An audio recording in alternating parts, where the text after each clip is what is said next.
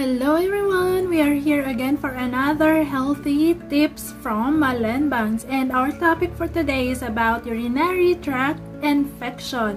But before that, if you are new here, please do like, subscribe, and hit the notification bell on the side para ma-notify kayo every time na meron tayong bagong uploads. And prior to our content, let's go first to our intro.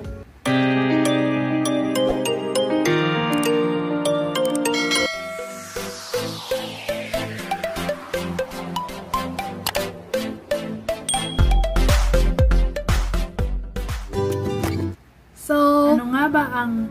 urinary tract infection or commonly known as UTI? Our UTI is an infection doon sa daanan ng ating pag-ihi. And UTI or urinary tract infection can be divided into upper tract infection and lower tract infection. Sa upper, nandoon po yung ating kidney. We can call the infection on the kidney as pyelonephritis. And sa lower tract infection, we have three areas. Ang ating urethra, ang ating, ating bladder, at ang ating prostate. So, kapag ang ating uh, bladder ay nagkaroon ng infection, tinatawag natin siyang cystitis.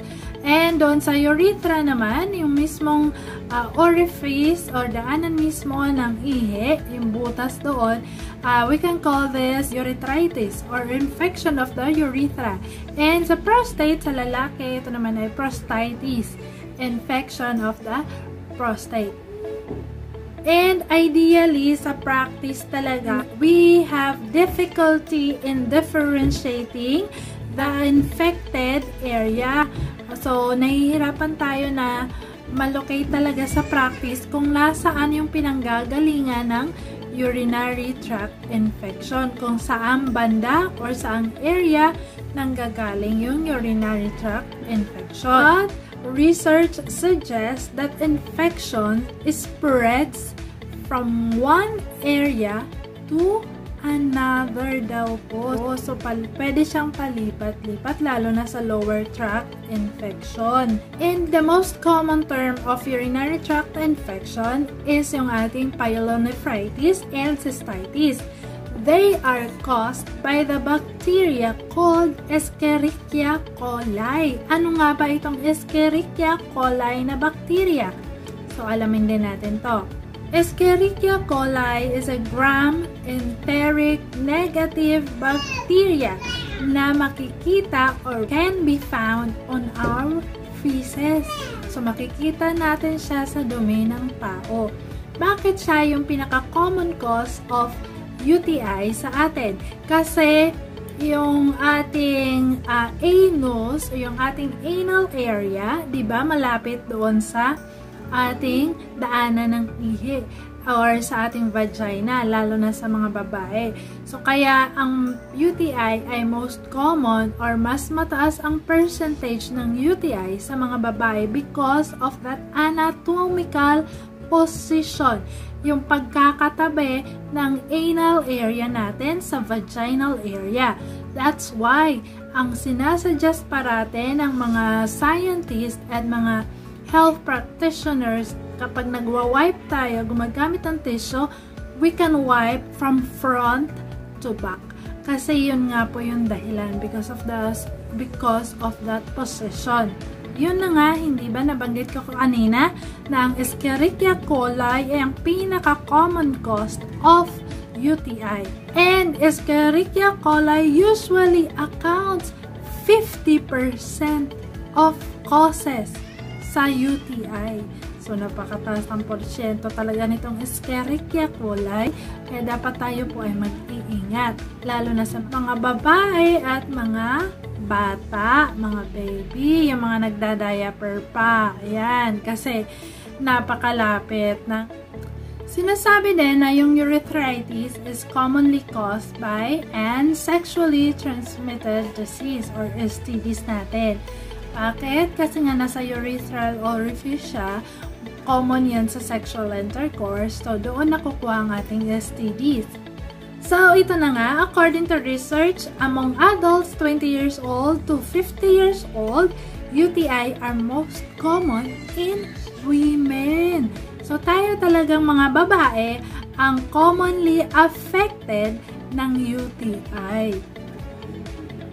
Mamaya, di-discuss natin kung ano yung mga risk factors at kung ano yung risk factors in developing UTI includes number one, yung ating sexual intercourse. Alam naman natin kapag sexual intercourse, kung ano-anong meron doon. So, we include there yung ating oral sex at yung iba't iba pang mga ways. So, yung paggamit din ng condom, isang factor din po iyon na nakakapagpataas ng pagdevelop ng ating urinary tract infection. Number 2, yung history ng recurrent UTI. Kung ikaw pala ay mayroong pabalik-balik o paulit-ulit na pagkakaroon ng urinary tract infection, yun po ay kakadagdag sa ating risk factors. Number 3, yung nabanggit ko kanina, yung anatomical position, isang risk factor po yun para sa ating mga babae, yung uh, pagkakatabi ng ating anal area and ating urethral orifice o yung ating vaginal orifice. So, nandoon po yan. Kasi magkatabi lang sila, po pwedeng yung Escherichia coli ay uh, po pwedeng mapunta sa ating urethral orifice o makapasok doon sa daanan ng ating pagkihi, lalo na kung hindi tayo mag-iingat sa ating wiping session or wiping strategy. Another risk factor, ito yung paggamit natin ng mga hygiene paraphernalia. Ano ito? Yung ating um, panty liners sa mga bata, diapers, ito yung wet wipes, ito yung tissue, lahat po, feminine wash, ayan, mga contributing factors po yung mga hygiene paraphernalia natin. So, i-minimize natin as long as we can, yung mga ganyan. So, what are the signs and symptoms of urinary tract infection? Number one, ito yung dysuria. Masakit kapag umiihi. Yung talagang umiiyak ka na. Tapos konti lang pala ang lumalabas. Diyos ko po. Naranasan ko na kasi kaya alam na, alam na po natin yan. And number two, lower back pain. Or ito yung tinatawag natin na flank pain. Dito sa magkabilaan, sa gilid, sa side, sa baba, ang sakit. And number three, meron tayong urinary frequency. Yun nga, ihi tayo ng ihi, pero ang konti naman ang lumalabas. And, number four, we can uh, observe that our urine has a turbid or yung talagang dark colored ang ating urine. Number 5, ito common sa mga bata kapag may UTI ang vomiting. So, isipin natin kapag may vomiting po pwedeng merong UTI ang baby. Mas maganda ipacheck yung ihi niyan. Number 6, ito nagkaroon ako dati, hematuria or yung blood in the urine. Experience ko po ito, napakasakit. May dugo talagang lumalabas sa ihi. And number 6, merong whitish or purulent discharge. Sa iba, meron po niyan. Pwede magkaroon ng ganyan, ng discharge. So, ang urinary tract infection natin ay dapat ma-diagnose sa ating urinalysis or urine GSCS, yung ating urine gram staining and culture sensitivity. So, dalawa yon. Pero ang most common na ginagamit natin kasi available sa lahat ng clinic, available sa lahat ng laboratory, yung ating urinalysis. Doon talaga makikita natin, napakadaming bakterya. Nakita ko one time yung aking ihe, nung nagka-UTI ako, talagang lumalangoy. Ang daming bakterya. Pag nakita po natin at TNTC yung result or 2 minute to count yung result ng ating urinalysis, Diyos ko, yun na yun. Kailangan na po natin mag-antibiotics.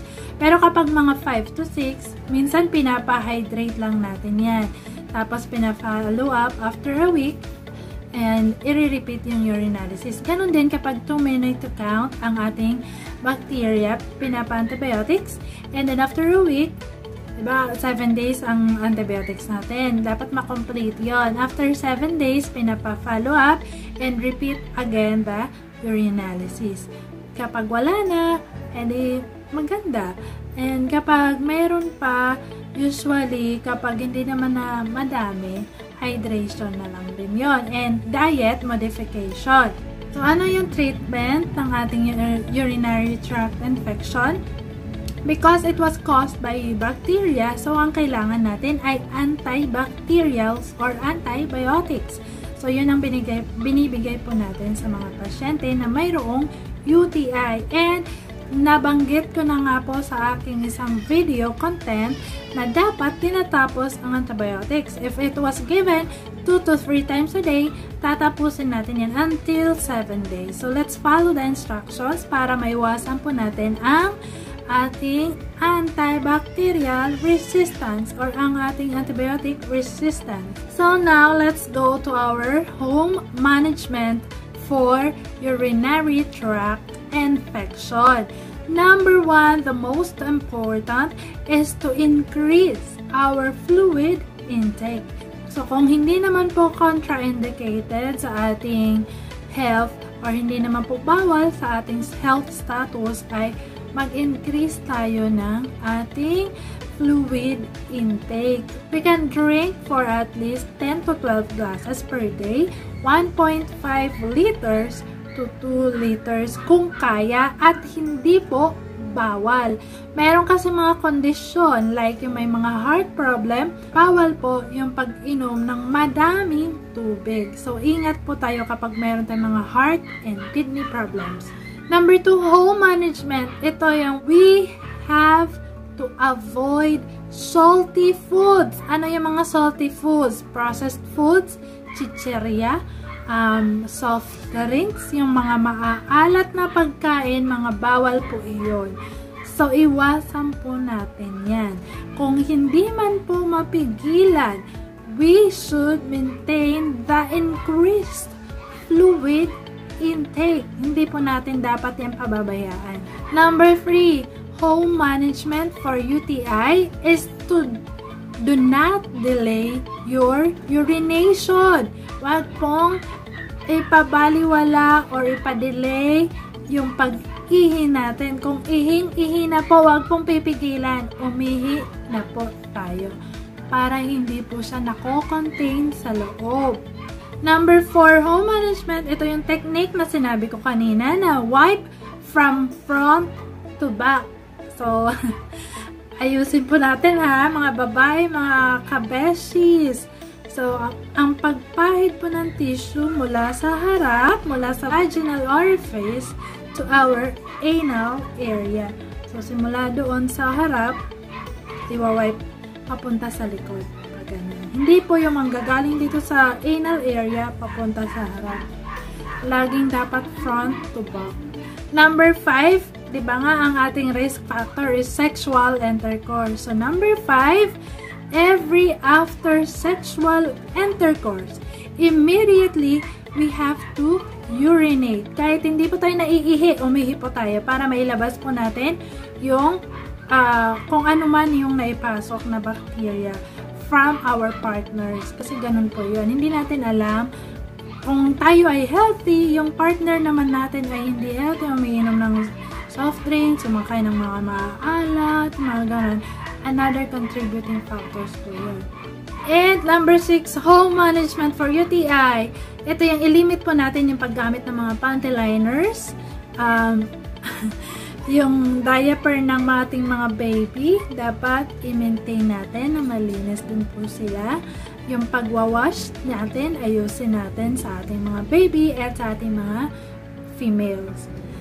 So, ayun lang mga beshi. Sana meron pa ulit kayo natutunan kay Malen Banks. And for those na hindi pa po nakadikit sa akin, uh, please do like, subscribe, and hit the notification bell para updated po kayo kapag mayroon tayong bagong healthy tips or health teachings na ina-upload. Maraming salamat and ingat po tayong lahat. God bless! Bye-bye! See you on my next content!